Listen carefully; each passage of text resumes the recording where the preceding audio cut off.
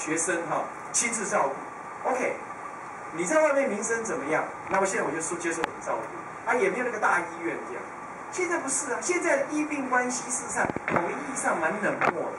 啊，如果如果在第一线上的医护人员也那么冷漠，当你一定不愿意那么冷漠。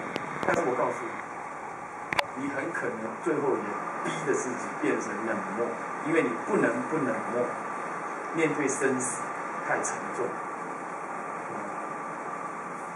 所以这样子，这种课程对你来讲太需要。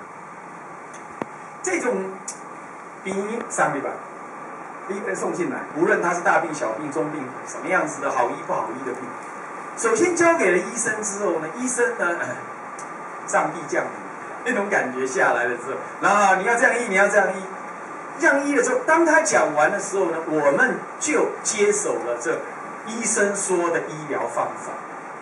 那么我们只是在一定的规则之下呢，进行一些周边的辅助。包括是外伤也是这样的，乃至于开刀后的护理等等都是都算在内。然而，我们这样接触一久了之后，我们会发现，呃，当医生实行医疗行为，而我们来接手，其实我们只是被告知我们应该或者我们被教导的是，我们应该怎么样按照一个 OT 一个一定的操作程序呢，来进行对病人各类病人的各类照护行为。不是，我刚才就说了，家属他几乎能面对，几乎大部分就是你。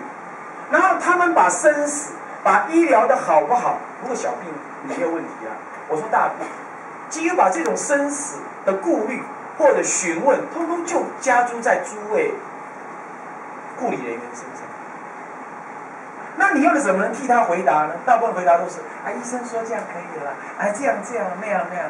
他就这样，你还能够替他说明怎么医疗行为吗？你当然不能，那逾越你的权责。